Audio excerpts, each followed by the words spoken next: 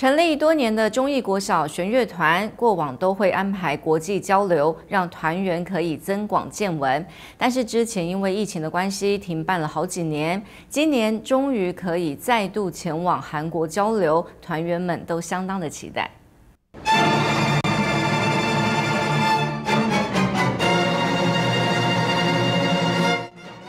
这次前往韩国首尔交流，可以有好的表现。中艺国小弦乐团特别加强练习。疫情之后，乐团终于可以恢复国际交流，团员都很期待。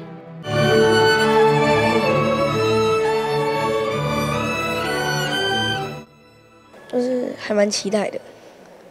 然后就是希望可以学到，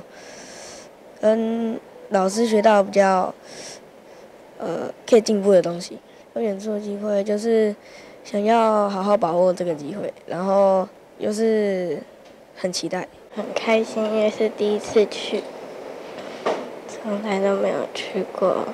你把琴练好，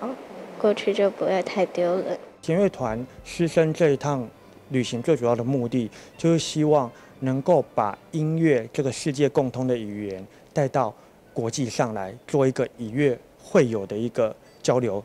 那更重要的是，让孩子们在呃实际上文化交流的过程中，能够获得技巧的提升之外，也能够拓展他们的国际视野。我们安排了会到这个首尔大学的音教系，以及汉城的华侨小学来做一个音乐性的交流活动之外，依照弦乐团的传统，我们也安排了在水源华城跟明洞主教座堂这两个人潮熙攘的地方来做一个快闪演出。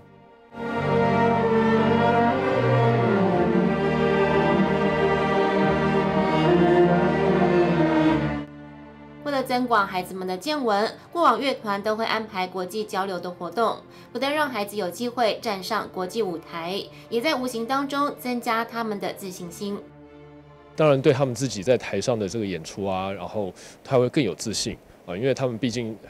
呃，这样也算是一个国际级的演出了。好，那所以我觉得他们不管是小朋友或者是同学们啊。呃，哪一个阶段他们到国外去演出，这个对他们来讲都是毕生难忘的经验。那对他们回来之后，他们自己的见闻，呃，也会更更开广他们的见闻，然后对自己的呃各方面都会更更有信心。